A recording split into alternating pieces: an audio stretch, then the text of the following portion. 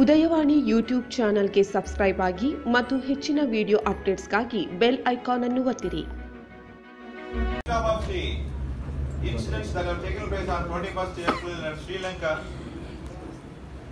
we have had an immediate meeting of the de- deputy commissioners of uh, the Bangalore zones, and they have been already instructed earlier to immediately gather information about the place, religious places where there will be a lot of congregations, and also malls and uh, hotels, and they have been asked to immediately instruct and seek cooperation from them.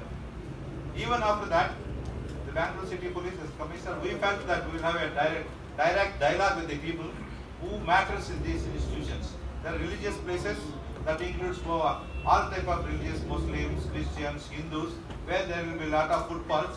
We wanted to talk to their uh, management, talk to the trustees, talk to the board members. Similarly, the Sri Lanka showed that the people were moving casually with you know baggages and you know without any checks and all these things. And in some hotels also explosions have taken place.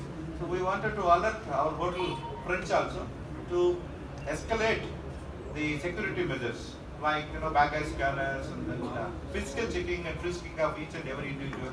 And also to find out his address, proper identity and address also is more important as far as the hotels and the places where he, he or she is going to stay. And similarly, at the places where people are going to take houses on rent, the establishment of their identity is most important.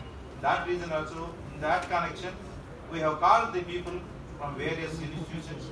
We have elaborated the security measures that they can be taken and also they, we sought their cooperation in maintaining a vigil in these places. This is the most important uh, idea of uh, the calling this meeting. They have cooperated, they have come in huge numbers and responded uh, to our call.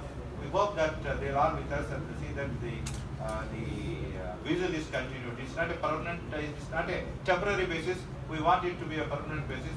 That's the reason we called them and we assured them our cooperation. They also assured us that they will be with us.